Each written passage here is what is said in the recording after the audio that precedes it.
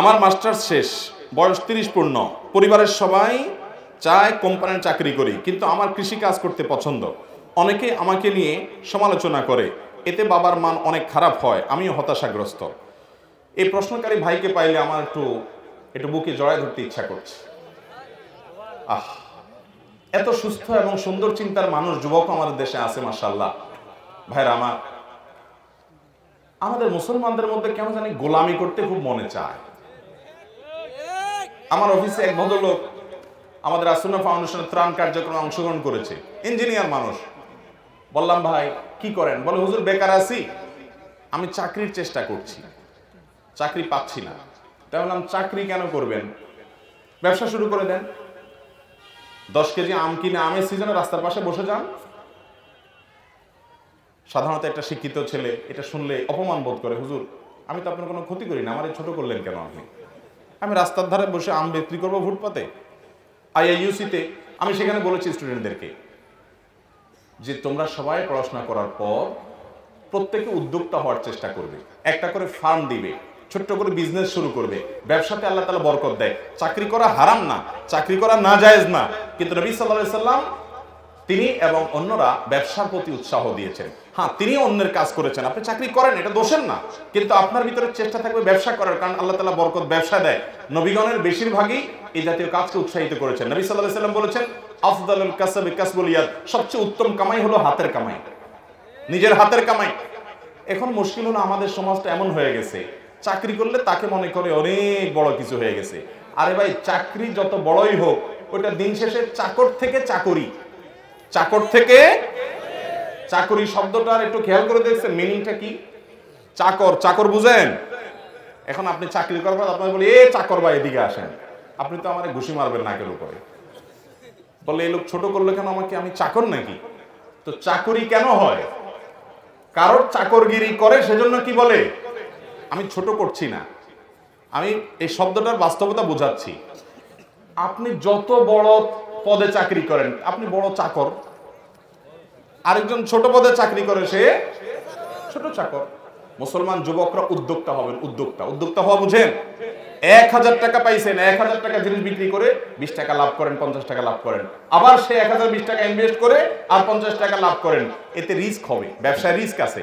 আমরা আসলে মূলত সব অলস।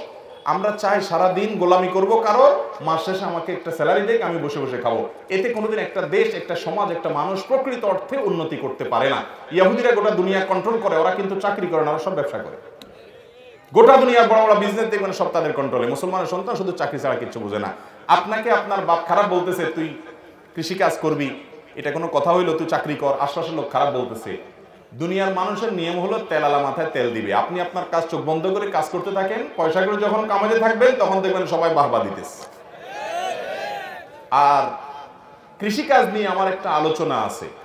মানে আলোচনা করার প্ল্যান আছে, এখনও করতে পারি নাই। আমি নিজে অবাক হয়ে গেছি। কোরআন এবং হাদিসে কৃষিকাজের ব্যাপারে এত উৎসাহ দেওয়া হয়েছে। এই যে আজকে পৃথিবীতে দুর্ভিক্ষের আওয়াজ শোনা যাচ্ছে, মুক্তির একমাত্র পথ হলো কৃষিকাজ। ওই দুনিয়ার ধানায় পানায় কোনো কিছু গোলাবে না, শেষ পর্যন্ত ভাত খেয়ে বাঁচতে পারেন কি না।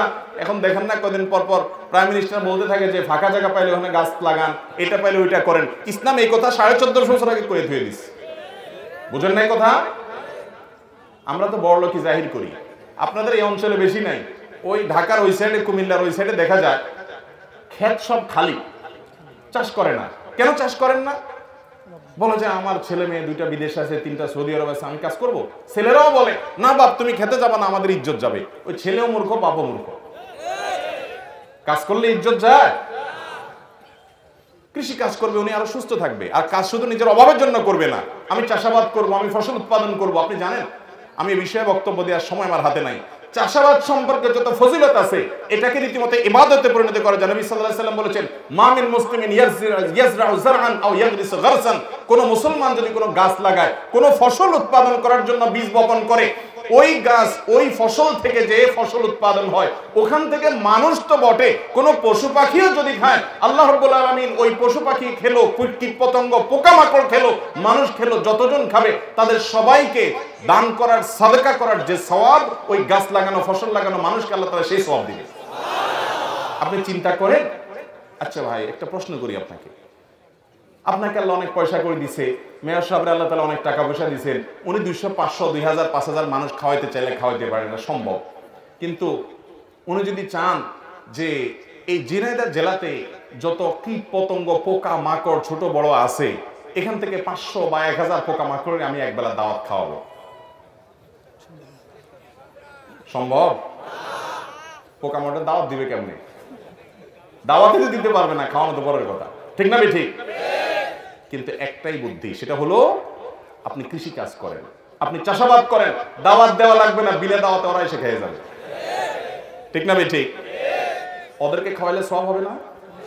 আপনারা জানেন না হাদিস?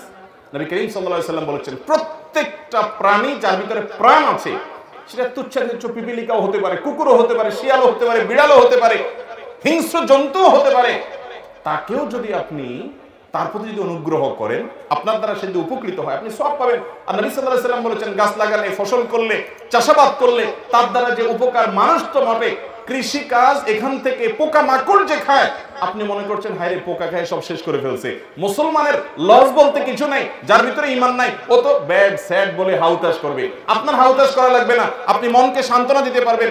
আলহামদুলিল্লাহ পোকা মাকড় রিজিকের ব্যবস্থা হয়েছে। আমার চেষ্টা দ্বারা সওয়াব আল্লাহ তাআলা আমার আমল নামায় দিবেন।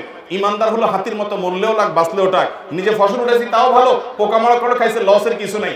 সব আমি পাবো ইনশা চাষাবাদ করবেন তো ইনশাআল্লাহ। এটা তো ছোট মনে করবে ঠেলায় পড়লে সব ওই চাষাবাদের দিকে আসা লাগে। আল্লাহ আমাদেরকে বোঝার তৌফিক দান করুন। এই জন্য ভাইরা কে কি বলছে, এসব দেখার দরকার নেই। নিজেরা সঠিক পথে থাকব।